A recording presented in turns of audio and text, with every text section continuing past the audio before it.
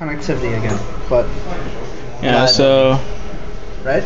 yeah, this is the Arduino setup, All right. and What up? This is our the Arduino code. So basically, what it does is when it sends the disconnection between these two, the purple and the green wire, the screen will print out a one. So, for an example, that the screen will keep on printing out one, and it will stop printing once it has a connectivity. All done. Okay.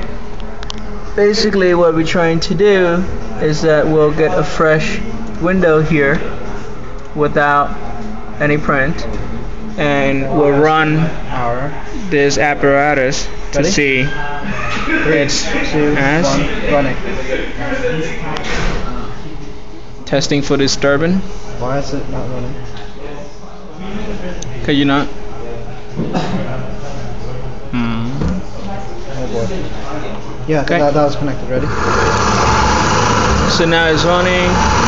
We want to make sure that the uh, slip rings is stay connected all time, and our slip ring has no disturbance, nothing that's noticeable by the Arduino, and the test is complete.